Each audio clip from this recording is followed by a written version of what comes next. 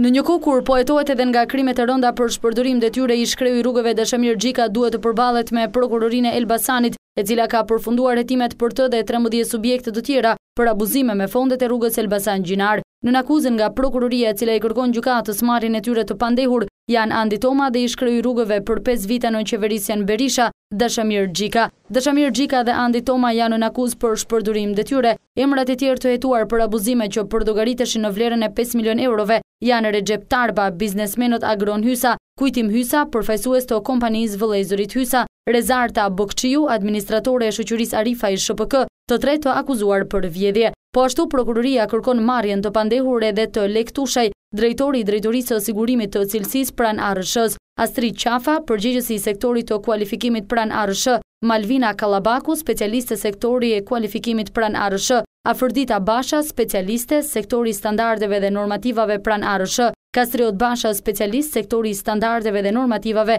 pranë ARSH. Këta ish-zyrtarë të ARRSH-së janë akuzuar për shpërdorim detyre në lidhje me raporte që kanë bërë për ndërtimin fiktiv të rrugës dhe cilësisë së dobët në pjesën e ndërtuar. Po ashtu në gjykatë me kërkesë të prokurorisë janë dërguar me akuzën e vjedhjes dhe tre subjekte tregtare, vëllezërit Hysa, Arifaj SHPK, Zenit zero gjashtë SHPK.